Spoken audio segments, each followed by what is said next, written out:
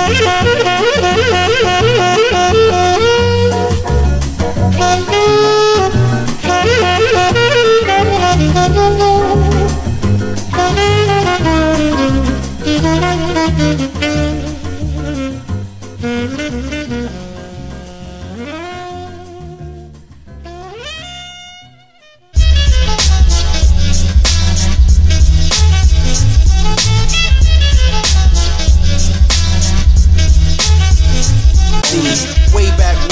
was only 19, I used to think about blowing up the hip hop scene.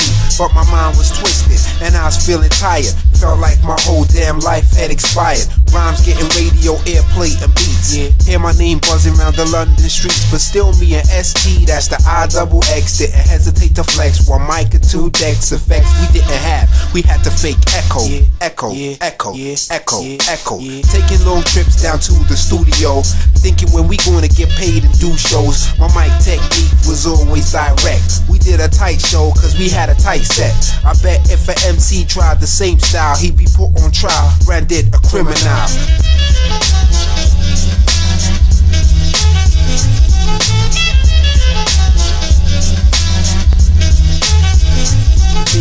Nineteen years is a very young age. Hardly making dough, struggling for a wage. Lyrics piling up, yo, page by page.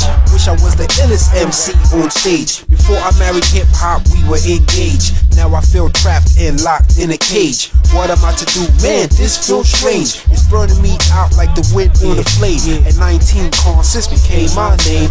So is DL, but it's regarded as the same. Pink Panthers dope, yo, sticks is the flame. Foundation strong, cause we link like a chain.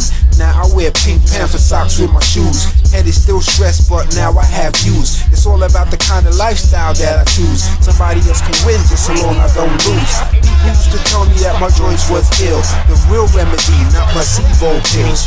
Paper and peace and prosperity.